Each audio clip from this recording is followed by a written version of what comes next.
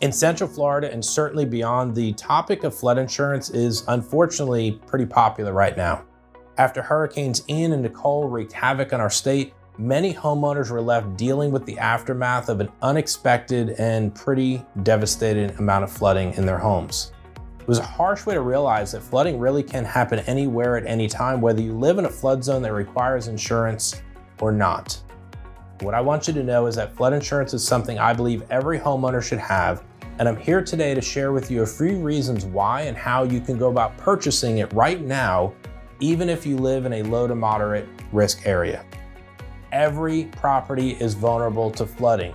I previously mentioned this, and unfortunately realized it during the most recent hurricane season. I also want you to know though that more than 20% of the claims that are actually processed by the National Flood Insurance Program come outside of high risk flood areas. So what does this mean to you and what should you do about it? First, I want you to know that you can purchase flood insurance at any time. Now, yes, there's normally a 30 day waiting period before the policy will go into effect, but there are also exceptions to that rule as well that I want you to be aware of.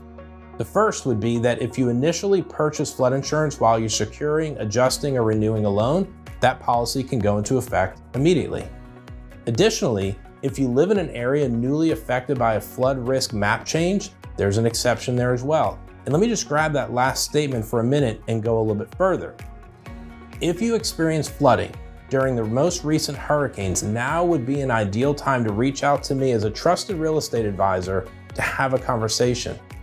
In truth, FEMA may be making changes to local flood risk maps, and I can help you navigate whether or not you now live in a high risk flood area and what that means for you, for your home, and for your insurance needs. Additionally, guys, it is important to remember that most homeowner insurance policies do not cover flood damage, and many homeowners, unfortunately, do not find this out until it's too late. You must purchase insurance specific to flooding if you want to be covered in the event of a flood.